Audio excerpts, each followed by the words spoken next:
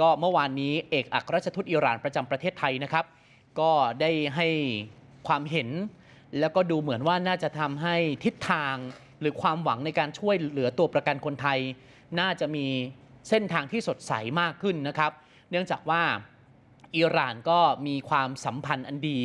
กับกลุ่มฮามาสเพราะฉะนั้นท่านทูตอิหร่านเนี่ยท่านบอกว่าก็ได้เจรจาขอให้กลุ่มฮามาส ปล่อยตัวประกันชาวไทยแล้วก็ชาวฟิลิปปินส์และผู้นำฮามาสก็รับปากว่าจะปล่อยตัวประกัน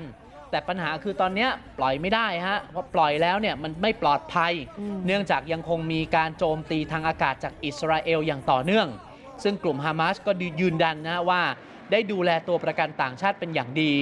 พยายามย้ายตัวประกันไปอยู่ในที่ที่ปลอดภัยคุณผู้ชม เพราะฉะนั้นก็อาจจะต้องฝากประชาคมโลกบอกให้ อิสราเอลหยุดโจมตีเพื่อปล่อยตัวประกันครับ captives of uh, Thailand and the Philippines. They are in Palestine now. They are in safe houses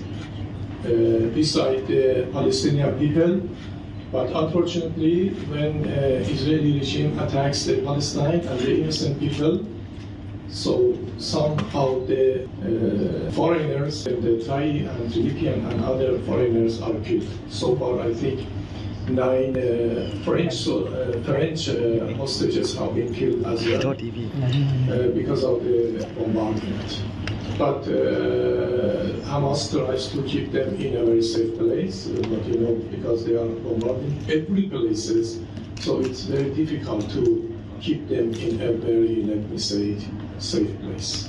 So it's very dangerous for them. I think now it's time for the government of Thailand and people in the world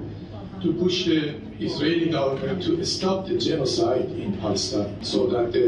hostages can be uh, go back home safely. อืมแล้วเมื่อถามว่าการสู้รบเนี่ยจะขยายตัวหรือไม่นะคะ ทางด้านของทูตอิสทูตอิหร่านเองเนี่ยบอกว่าถ้าอิสราเอล ยังโจมตีฉนวนกาซาอยู่โอกาสที่สงครามนี้มันจะขยายตัวมันก็จะมีมากขึ้น เพราะฉะนั้นจุดเปลี่ยนที่สำคัญที่สุดก็คือการเจรจาระหว่างทั้งฮามาสและอิสราเอลเกี่ยวกับการแลกเปลี่ยนตัวประกันนั่นเองนะคะก็หวังว่าจะยุติโดยดี แล้วก็จะไม่มีเหตุความรุนแรงที่เกิดขึ้นมากกว่านี้ค่ะ